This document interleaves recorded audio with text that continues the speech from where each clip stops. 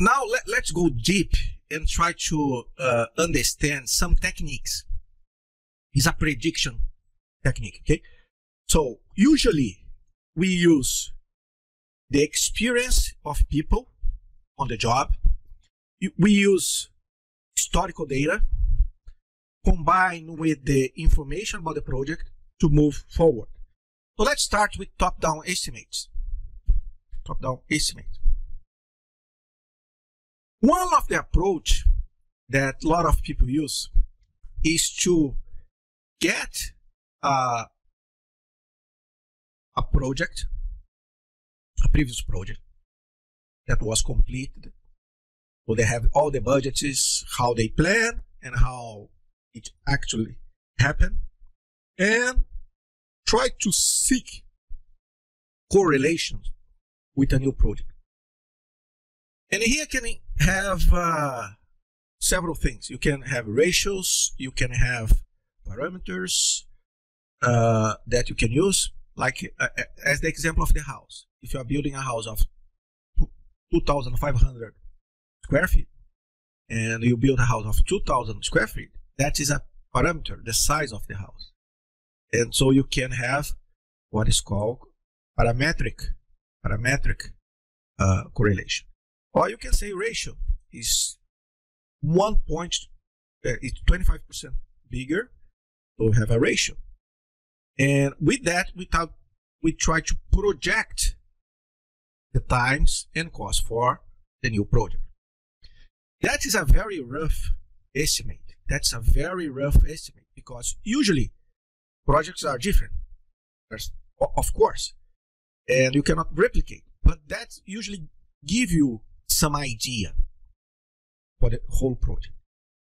And the all top-down estimates technique, all, techniques for top-down estimates, it's based on the you you take a old project and project the new project, the whole, the entire project, and then you break down and to understand each part of the project.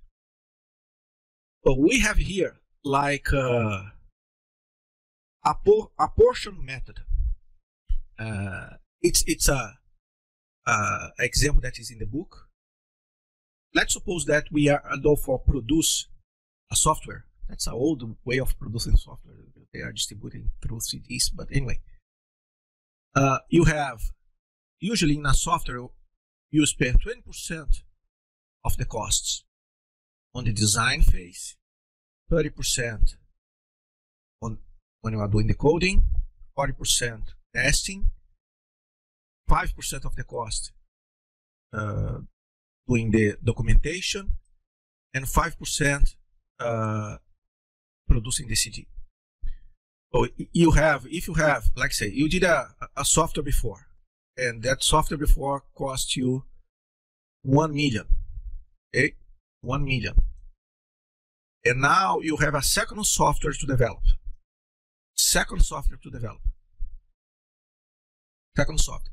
And that's by some parameters of ratio, you say that that is half of the work. You can estimate the total cost as 500,000. So that's the first step. Once you have that step, and from previous experience, you know the cost breakdown per phase, you move down and start estimating uh, each phase, each part of the project. And that is what we call top-down uh, estimate. So you take a previous project, give an estimate for the entire project, new project. So take an old project, project the estimate for the new project, and then you go down the WBS or in not down to the bottom, but at least to the first level major deliverables or sometimes to the second level so you can have a cost estimate per phase. That's called apportionment. That's one technique of estimate project. And it's used again as the rough estimate at the beginning or in the project charter. Another uh, method is called consensus method or Delphi technique. And, and, and that is you uh, you don't have any experience in the project and uh, usually what you do you consult several experts but there is a, a process of of uh, of consulting those experts. What do you do?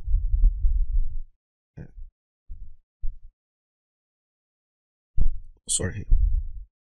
What do you do? You start with uh, preparing some kind of questionnaires and send them to a list of experts. That's the first phase.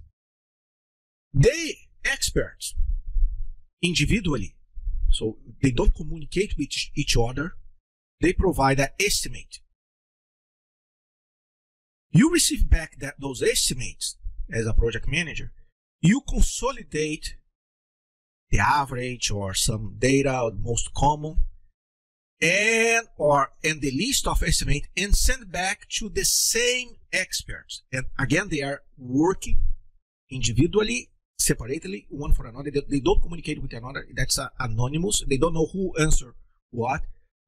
By watching the estimate from the other experts, usually the person go deeper in his thoughts and analysis and can come back with a better number. And so you do that cycle several times until you think that you, you are close to a most uh, uh, most reliable number.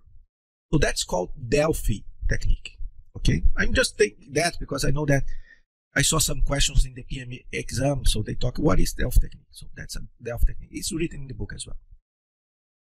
So you don't know the project, so you come back and and and, and do that kind of uh, thing. So those are the major uh, techniques that are used for uh, top down. Actually, consensus method can be used top down or bottom up. It's a technique that can use for just for a task, can be used for the whole project, can be used for uh, several things in life. It's not just for project manage, management. Okay, those are the uh, top down, I would say. Now let's move to the bottom up estimates. Bottom up estimates. And here, uh, let's start with the WBS. Okay, so the WBS we break down, we broke down the project in phases, deliverables, specialities. So we break down the project and we break down and put that in groups. Then we further broke down the groups into tasks or group of tasks and then into work package or WBS dictionary. That's the way we go. Now, in the we have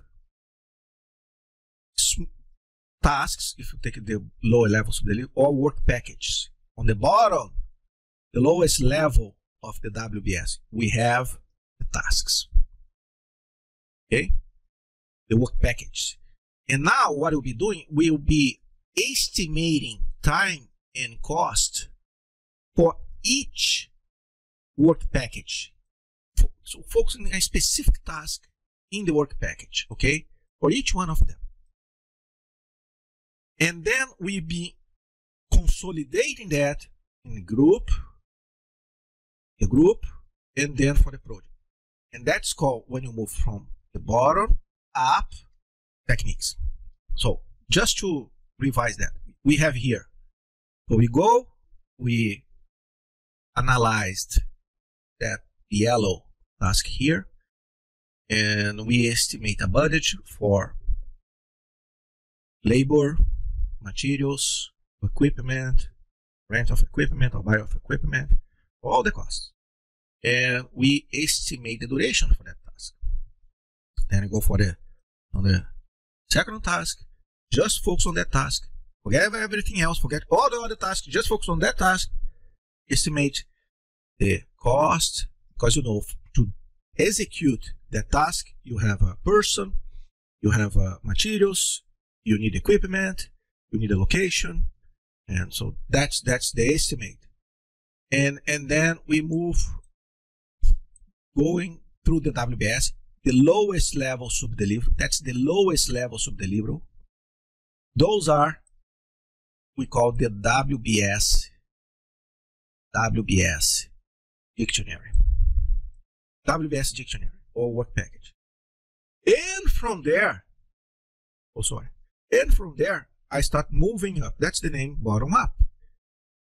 I put that symbol that is indicate sum, but that's work well for the cost, but not exactly well for the duration. And I ask you why it works well for the cost, but not for the duration. Who knows? That sum, when you add up, start adding up, uh, yes, in their tasks overlap. You may have some tasks that are doing simultaneously, so the total duration of that group is not the, the sum of each task duration. And that, that is why. But anyway, uh, the idea is moving up. All those techniques work very well for cost. You can, um, in some cases, use for duration, but not here. You need the duration will be just done when you go for uh, the project schedule, the real duration. And then you move up for the cost of the project. That's called bottom-up techniques, uh, bottom-up approach. And the techniques are techniques that are suitable to evaluate the cost and duration, to estimate the cost and duration of one task or one work package. The first technique uh, I would like to call it's a parametric estimate. So parametric means parameters. So you take one parameter, you multiply by the size of project. If you are putting the floor, okay, the flooring on the house, and you know that it's ten dollars per square feet install the floor, and the house has three thousand square feet, so you take 10, 10, uh, 10, what is my 10 dollars per square feet. Okay, that's that's dollar per per square feet times 3000 square feet.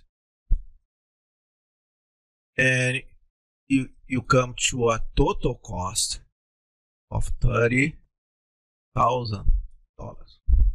Okay? That is use a parameter and multiply by a quantity and you have the final cost. That is what you call parametric estimate. So you have to define a unit.